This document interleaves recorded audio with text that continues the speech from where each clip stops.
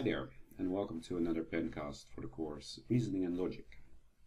In this pencast, we're going to take a look at a very interesting proof using the method of induction. The claim that we will use in this video is the following. Pi to the power n, where n is any natural number, equals 1. Now hopefully you don't need 5 seconds to realize that this claim is clearly false. Pi to the power n is not 1 for n larger than 0.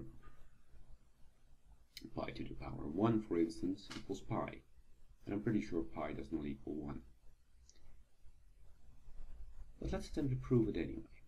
And of course, in, like in any induction proof, we start with our base case. Pi to the power 0, yeah, that equals 1. Then let's take a look at our induction step.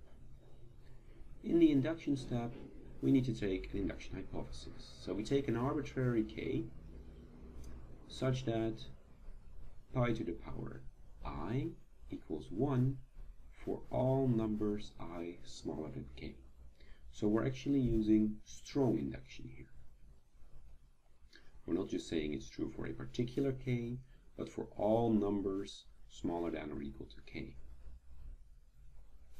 So what do we need to prove now? Well, now we need to prove that it also holds for k plus 1. So we need to prove that pi to the power k plus 1 equals 1 plus pi to the power, sorry, times pi to the, well, how do we do that?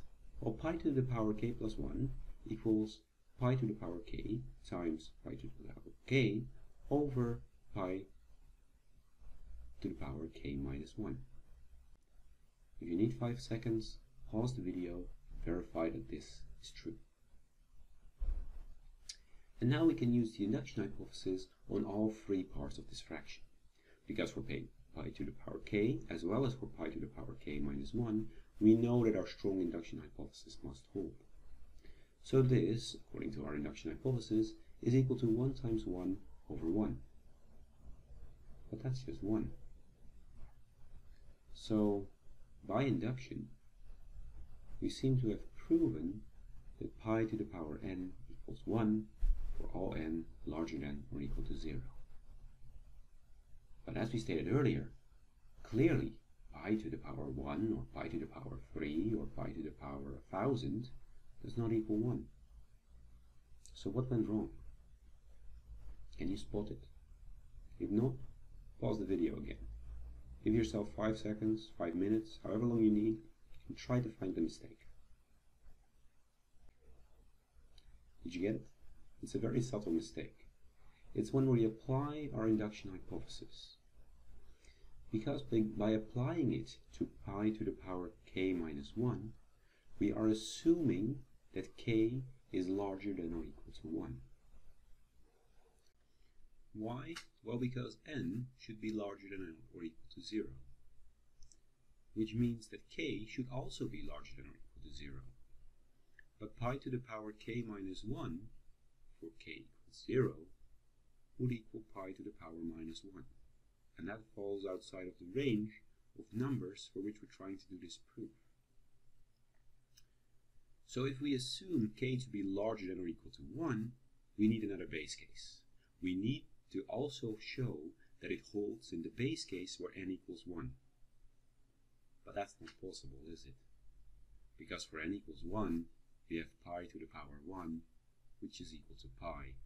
And as I said earlier, I'm pretty sure pi does not equal 1. So, although this proof initially seemed to make a lot of sense, there is a subtle mistake in the way we use our induction hypothesis. And you should always be careful when you're doing strong induction proofs like this that when you apply the induction hypothesis, you're actually applying it correctly. In this case, we did not, which means that this proof is invalid, which makes sense as the theorem is false. And with that, we've come to the end of this video, but I'll see you around for the next one.